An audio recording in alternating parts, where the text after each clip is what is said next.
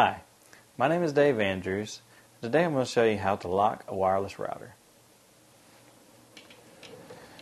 Let's begin by pulling up our wireless router. In most cases, your wireless router can be accessed by going to the internet and typing in for the address 192.168.1.1.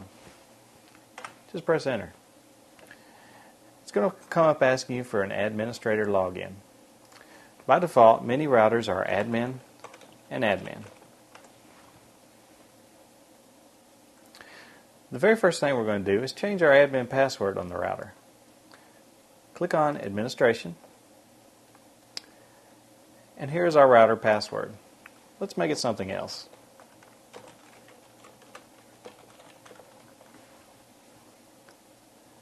After we've changed the password, click down here at the very bottom to save the settings. If any messages pop up about security, just say yes. Next, we're going to lock down the wireless to where it requires a password to log in. Let's click on wireless, and we'll have to retype our new admin password since we just changed it. Let's go to wireless security. And in security mode, let's generate a WEP key. Let's type in some sort of passphrase. I'll just do my name and say generate.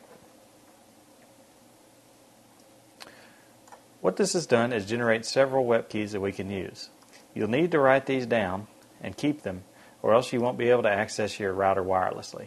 It's going to pop up asking for that WEP key when you try to connect.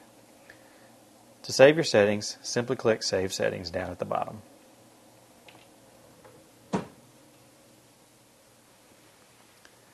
My name is Dave Andrews, and I've just showed you how to lock your wireless router.